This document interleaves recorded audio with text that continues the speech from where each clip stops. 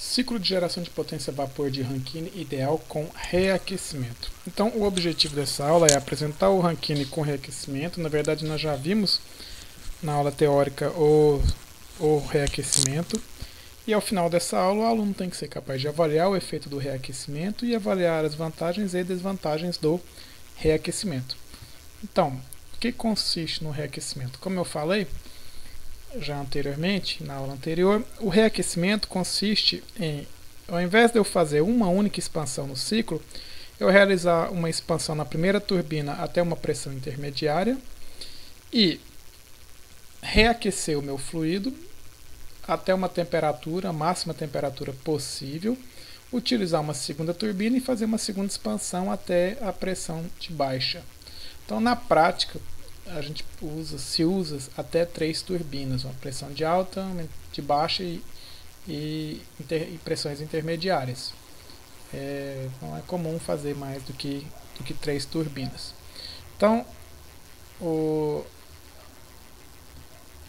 qual que seriam os componentes aqui? Então nós temos aqui a caldeira, ela vai sair superaquecido, vai entrar na primeira turbina, Vou fazer uma expansão, uma pressão intermediária, vou reaquecer esse fluido, vou fazer a segunda expansão e aí vai o resto do ciclo. Condensador para sair líquido saturado, a bomba e a entrada da caldeira. Então se eu desenhar aqui o diagrama temperatura entropia, eu vou ter que, vamos fazer aqui o domo do vapor, aproximadamente. Então aqui nós temos uma pressão, agora nós vamos ter três pressões, nós temos a pressão de alta, uma pressão intermediária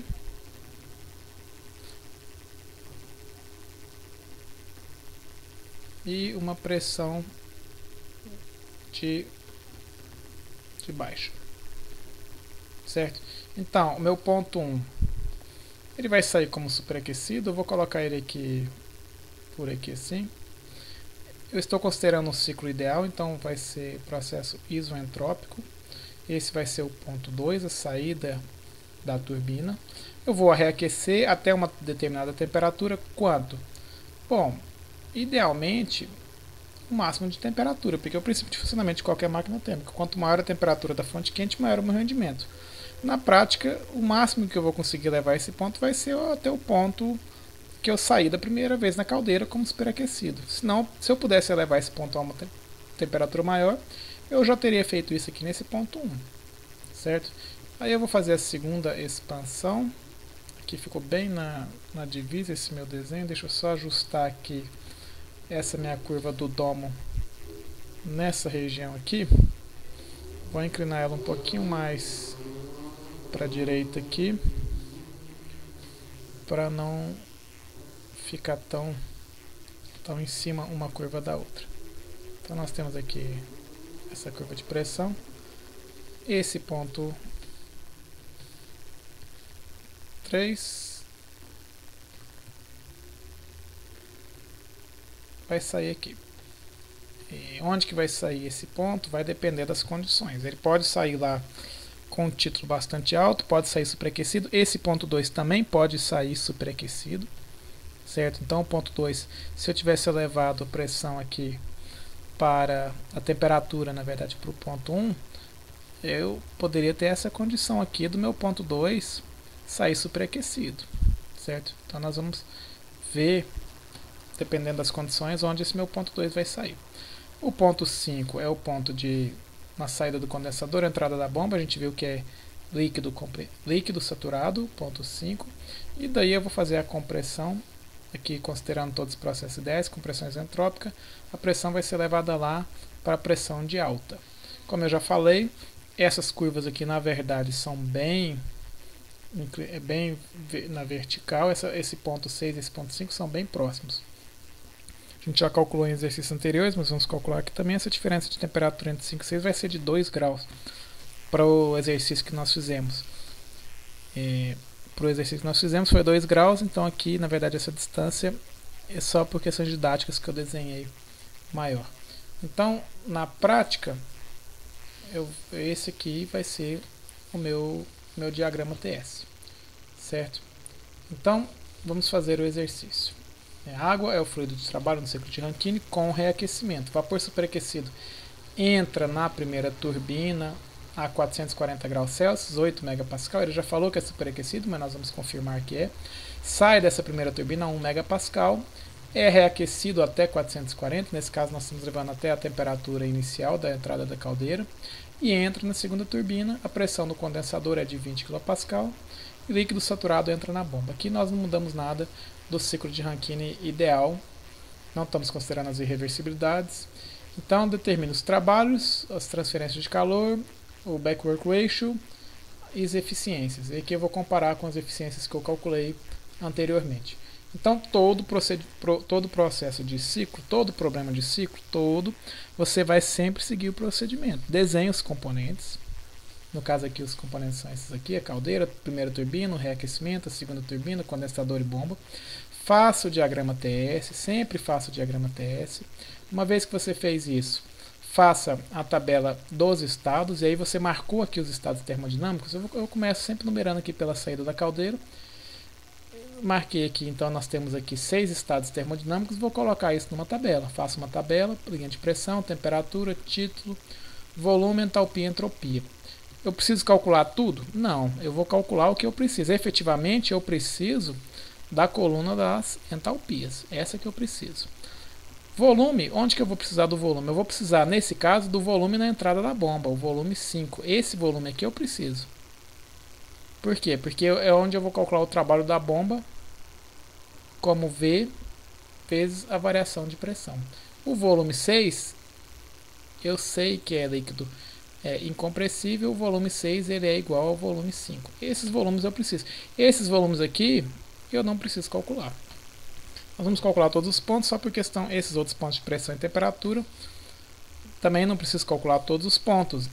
Eu vou calcular o que eu preciso, mas aqui nós vamos calcular tudo para preencher a tabela por questões didáticas. Então, uma vez que eu desenhei os componentes, o diagrama TS que está ali na página anterior, fiz a tabela dos estados, eu vou começar a popular minha tabela dos estados com as informações que eu tenho.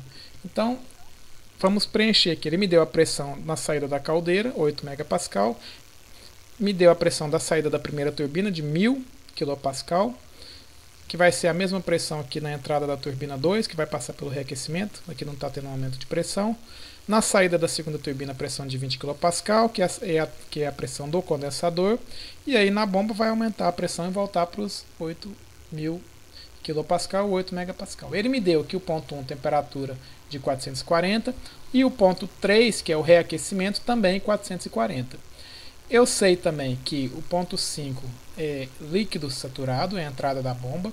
Então aqui é o ponto 5, título de zero. Portanto, aqui eu também consigo calcular então o volume, que vai ser o volume de líquido saturado, a entalpia e a entropia. E agora eu vou calcular as minhas propriedades. Então eu vou começar no ponto 1.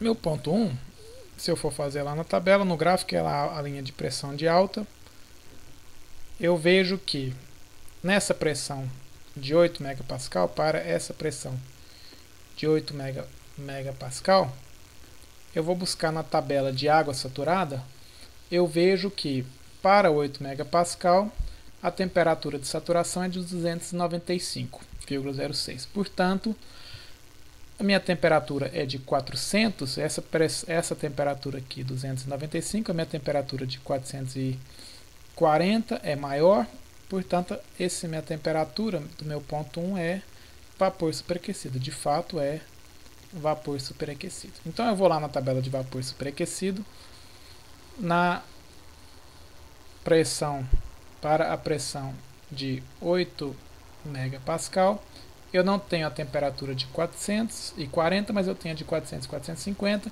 Preencho aqui os, os dados da entalpia e entropia e calculo, fazendo a interpolação, a entalpia do ponto 1 e a entropia do ponto 1.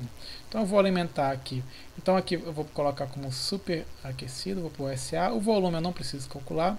A entalpia eu calculei, 3.245,248 e a entropia 6,51 666. Você vai sempre voltar na sua tabela e vai preenchendo e populando a sua tabela.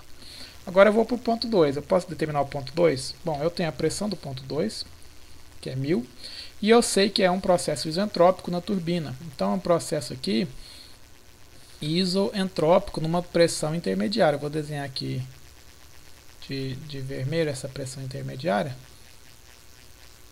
Eu tenho um processo isentrópico que pode ser tanto aqui superaquecido, vai depender aqui, esse meu ponto 2 pode ser superaquecido, ele pode estar aqui na região de, de mistura, com título alto. Eu vou ter que determinar esse ponto. Mas eu sei que esse ponto é isentrópico, portanto a entropia do ponto 2 é igual à entropia do ponto 1. Então eu já alimento aqui esse valor na minha, na minha linha da, do ponto 2, do estado 2. E vou calcular agora o meu estado 2. Eu sei a, a entropia, eu vou verificar na tabela para 1000 kPa, na tabela de água saturada, os valores das entropias de líquido e de vapor. Eu observo que minha entropia de líquido, de líquido e de vapor a minha entropia está aqui nessa, nesse, nesse intervalo aqui. Concorda? Meu S2 tá, é menor do que a, é maior do que a entropia de líquido, mas é menor do que a entropia de vapor. Então esse meu desenho aqui não está correto, certo? Esse meu ponto 2 não é aqui superaquecido. Esse meu ponto 2 é uma mistura. Então vou colocar aqui, vou desenhar aqui a coluna de pressão de preto. Vou desenhar mais inclinado aqui para a gente poder abaixar um pouco o ponto aqui. Então eu tenho aqui, vamos considerar que seja aqui, a minha, minha pressão intermediária de 1000 kPa. Então eu tenho aqui uma pressão opa, que é temperatura, entropia, eu tenho aqui a pressão de 8 megapascal e aqui eu tenho a pressão de 1000 kPa, que é 1 megapascal. Eu já vi que meu ponto 1 é superaquecido, vou colocar ele aqui, meu ponto 1 é superaquecido. E meu ponto 2, eu acabei de determinar que ele é uma mistura, vou ter que calcular esse, essa propriedade do ponto 2, mas eu sei que ele é uma mistura. Então, eu sei que ele é uma mistura, aplicando a fórmula da, da propriedade no ponto, uma mistura, eu acho o título do meu ponto, 0,98. Então é um ponto que está bem próximo aqui da região de saturação. Com o título eu consigo calcular a entalpia do meu ponto. Certo? Eu tenho as entalpias de líquido e de vapor, eu acho a entalpia do ponto. Então aqui eu achei a, o título, achei a entalpia, então achei todas as propriedades do meu ponto 2. Então eu vou lá, eu vou na tabela e alimento aqui essas informações que eu calculei. Eu tenho aqui o título de 0,98 98, o volume eu não preciso e a entalpia 2746. Vou colocar só o valor aqui, mas vocês sempre é 2400, opa, 2746, 2746. Sempre usem as todas as casas decimais para fazer as contas, certo? 2746, 700 e 46, alguma coisa. Coloquem sempre o, o, as casas decimais. Obviamente, no resultado final, você vai ter que considerar os algarismos significativos que você está usando as contas. Mas para as, as, contas intermediárias, não faça truncamento dos valores, porque isso você vai carregando o erro, você vai, vai propagando o erro da, do truncamento no seu problema. Então, não, não faça o truncamento antes do, do resultado final. Então, ponto 2 eu já determinei. O meu ponto 3, eu já, ele tem as informações que vai ser o ponto dos, do reaquecimento. Eu tenho a pressão de 1000 e a temperatura vai ser 440. Então, eu tenho preciso determinar esse ponto primeiro o estado. Todo ponto eu preciso determinar o estado. Então eu vou lá na tabela da água saturada para a pressão de 1000, eu tenho que temperatura de saturação é 179, a minha temperatura é 440, portanto, a minha temperatura do ponto 3 é maior do que a temperatura de saturação para a pressão do ponto. Logo, ele é superaquecido, certo? Se ele é superaquecido, eu vou na tabela de, de vapor d'água superaquecido, vou buscar para a pressão de 1000 o valor que eu conheço da temperatura, que é 440. Eu observo aqui que eu tenho de 400 e 500. Então eu vou fazer aqui a interpolação. Do volume eu não preciso eu vou achar a minha entalpia e a entropia do ponto 3. Então eu faço aqui, obtive entalpia e entropia, alimento essa informação aqui, fazendo a interpolação simples, alimento essa informação lá na minha tabela das, dos estados termodinâmicos. Então, vamos para o ponto 4. Qual que é o ponto 4? O ponto 4, seguindo aqui no meu ciclo, é a saída da turbina, que é a pressão de 20. E o que, que eu sei do ponto 4? A saída da turbina é isoentrópico, certo? Cadê o meu, meu, meu, meu, meu primeiro?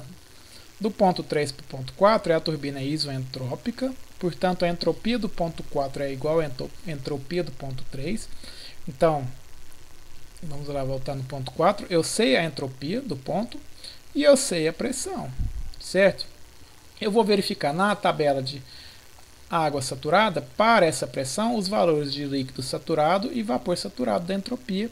Observe que a minha entropia está aqui, minha entropia do ponto 4, que é maior do que a de líquido e menor do que a de vapor, portanto, o meu ponto 4 efetivamente é uma mistura. Vou colocar que ele está aqui, vou colocar aqui, certo? Esse aqui é o meu superaquecimento. Vou colocar. Opa. Na verdade, o meu superaquecimento é aqui. Chegou na mesma temperatura. Então, lá eu obtive que era uma mistura também, né? Então vamos desenhar aqui, ó. Eu tive uma mistura com título alto e aqui também vou sair uma mistura, certo?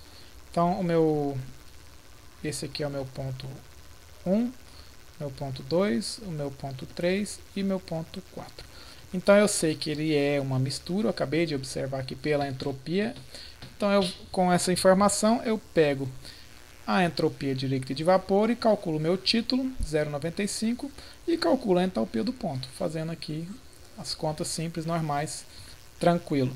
Agora eu vou então para o ponto 5. O ponto 5 é na saída do condensador e eu sei que o ponto Ponto 5 é de líquido saturado. Ponto 5 é fácil. Título igual a zero.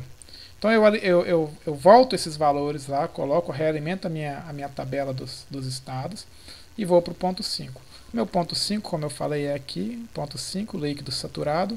Então eu tenho a pressão de 20. Para líquido saturado eu tenho aqui as propriedades, entalpia de líquido e entropia de líquido.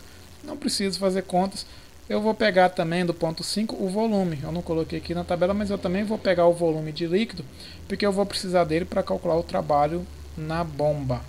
Então, ponto 5 está aqui os valores sem precisar fazer conta. O ponto 6, eu tenho aqui duas opções. Eu sei que o meu ponto 6 é isoentrópico, então, portanto, a minha compressão do ponto 5 para o ponto 6 é isoentrópico.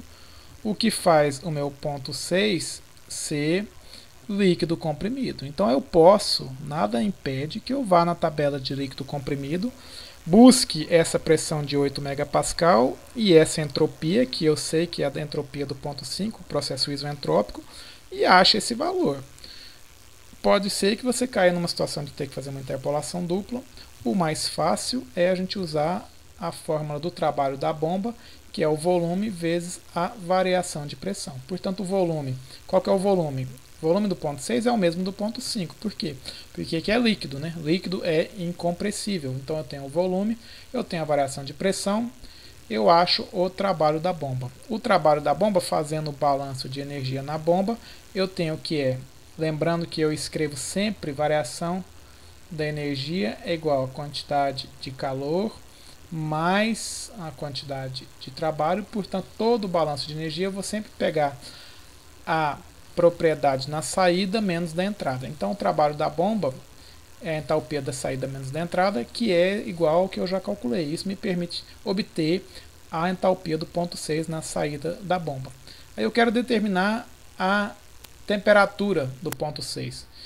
Lembramos então que toda propriedade de líquido comprimido eu posso aproximar pela propriedade de líquido saturado, que seria esse ponto, vou pôr aqui de amarelo, líquido saturado na temperatura variada, portanto nessa temperatura aqui. Ó. Se eu pegar então aqui essa linha aqui, eu posso avaliar essa propriedade do ponto 6 como uma propriedade no ponto 5 aqui de líquido saturado. Como eu falei, aqui eu desenhei essas, essas retas aqui mais deitadas aqui para poder ficar didático de visualização. Na prática elas são bem verticais, é bem próximas umas das outras, então aqui eu posso aproximar satisfatoriamente bem a propriedade de líquido comprimido com a propriedade de líquido saturado na temperatura avaliada. Então eu vou lá na tabela de da água saturada, eu vou buscar o que? Eu vou buscar a entalpia 259 que eu já calculei, de líquido. Então, nessa coluna de líquido, eu vou buscar esse valor de entalpia e vou achar qual que é a temperatura desse ponto. Eu observo que a minha entalpia aqui, 259, está nesse intervalo entre 60 e 64. Então, eu tenho aqui para 60 e 64 os valores das entalpias de líquido, certo? 251 e 271. Tenho a entalpia que eu calculei, eu acho a temperatura do meu ponto, no caso aqui 62 graus. Portanto, ele é bem próximo aqui. Você vê que aqui, aqui é 440, né? aqui é 60,06, isso aqui é 62. Então não é essa distância toda aqui, do jeito que eu desenhei, fica parecendo que ele está lá uma temperatura alta, mas não é, bem próximo aqui, porque essas linhas são bem verticais. Então aqui eu já calculei meu ponto 6, o que é que falta? Não falta nada do meu problema, certo? Eu alimento aqui toda a minha tabela com os estados, as temperaturas, porque eu quis calcular as temperaturas, os, as, os títulos, aqui é líquido comprimido, ponto 6, ponto 1 é superaquecido, ponto 3 também eu vi que é superaquecido. Os volumes, eu também não preciso obter os volumes de todo mundo, na verdade eu preciso só do volume 5 para eu calcular o trabalho da bomba. Então aqui por isso que eu não calculei aqui. As entalpias eu calculei já nos estados anteriores e as entropias também.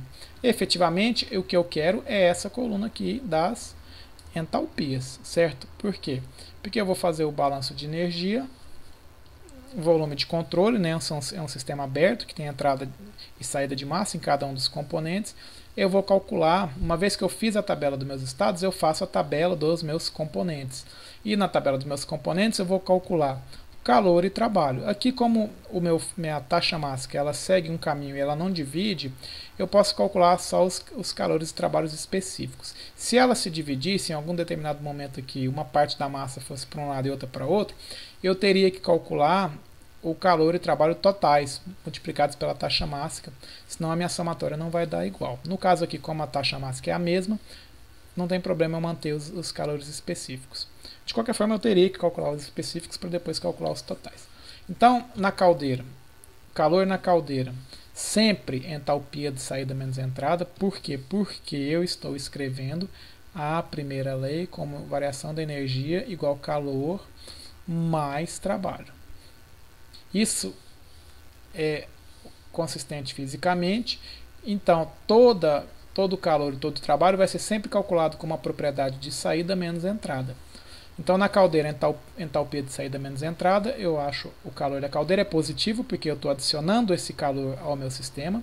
Na turbina ela é adiabática, o trabalho vai ser entalpia de saída menos entrada. Se eu fizer o volume de controle aqui, o balanço de energia, eu considero ela adiabática, não tem calor, eu desprezo os termos de energia cinética e potencial. Então eu tenho é um sistema aberto que tem entrada e saída, vai ter entalpia, vai, vai, ser, vai, vai ser o próprio trabalho. Vai ser um trabalho negativo, por quê? Porque o meu sistema, meu fluido, ele gasta energia para realizar trabalho na vizinhança. É um trabalho que está sendo realizado na vizinhança. Então ele é, ele é negativo porque eu estou escrevendo como calor mais trabalho a formulação da primeira lei. Só lembrando que seria muito bom se eu realizasse trabalho na vizinhança e a energia do meu sistema aumentasse. Isso não acontece. Se eu realizo o trabalho na vizinhança, a energia do meu sistema cai. Então a variação de energia vai ser vai ser negativa. Isso aqui, então, dessa forma como é escrito, é sempre calor adicionado da vizinhança no sistema, é, aumenta a energia do meu sistema, e um trabalho realizado da vizinhança no sistema aumenta a energia do meu sistema. Então, aqui, o trabalho da turbina é um trabalho do sistema na vizinhança, vai ser um trabalho negativo. A caldeira 2, que eu chamei, que na verdade é a parte do reaquecimento, é, a, é essa que sai da turbina, da primeira turbina e antes de entrar na segunda turbina. Então vai ser também a entalpia de saída menos entrada, H3 menos H2. Eu tenho o calor positivo também, porque eu estou adicionando calor aqui no meu sistema, no caso do meu fluido. Não tem trabalho. A turbina 2, entalpia de saída menos entrada. A turbina é, é adiabática. Também vai ser um trabalho negativo. O condensador vai receber calor ele está rejeitando o calor, na verdade, receber quem está recebendo é a parte da caldeira e do reaquecedor. O condensador ele rejeita calor, portanto é um calor negativo e a bomba, o trabalho da bomba também é um trabalho realizado da vizinhança no sistema, é um trabalho que eu estou adicionando ao meu sistema, portanto é um trabalho positivo. Ele aumenta a energia do meu sistema. Fazendo a somatória dos calores e por que, que é bom eu escrever nessa formulação calor mais trabalho? Porque o sinal do que está acontecendo vem naturalmente. Todo calor positivo é um calor adicional ao meu sistema. Todo calor negativo é um calor rejeitado. Todo trabalho positivo é um trabalho que está sendo realizado pela vizinhança no meu sistema.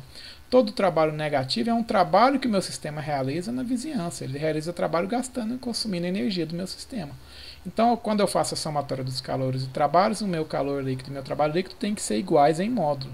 Por quê? Porque é um ciclo. Né? É um ciclo, por definição, é um processo cujos estados inicial e final são iguais.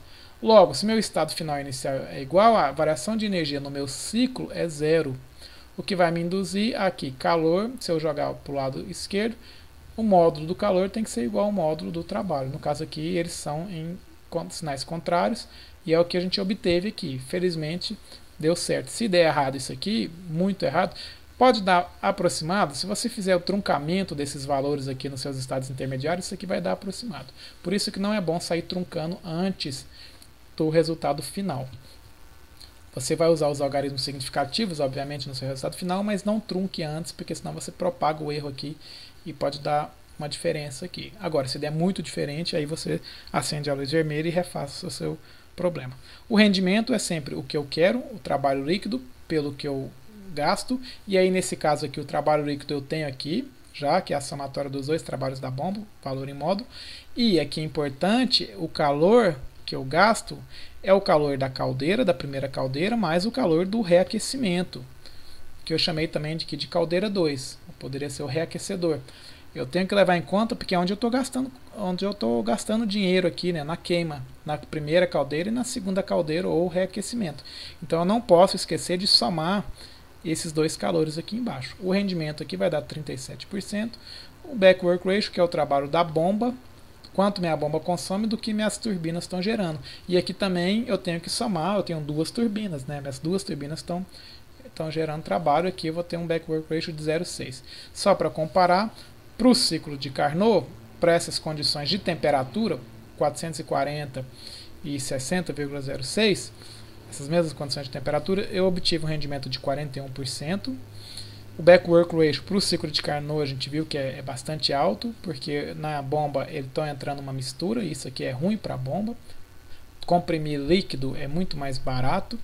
E na verdade nem é viável eu ter essa mistura no ciclo de Carnot. Então quando a gente vai para o ciclo de Rankine, a gente viu que o, rendimento caiu, caiu para 34%, com o reaquecimento aumentou para 37. Eu não coloquei aqui, mas o com superaquecimento para 440 tinha dado na casa de 36% com o superaquecimento. Então a gente viu aqui que o rendimento já melhorou significativamente em relação ao Rankine normal, né, o Rankine ideal. Só lembrando que aqui eu não estou considerando as irreversibilidades nos processos, onde nas turbinas, né, nas turbinas e na bomba, eu estou considerando elas isentrópicas, então na prática esse rendimento vai ser menor, tanto do Rankine quanto Rankine com reaquecimento vão ser menores do que esses valores, porque eu tenho as irreversibilidades nos componentes. O que, qual seria o efeito se eu considerasse as irreversibilidades no meu diagrama.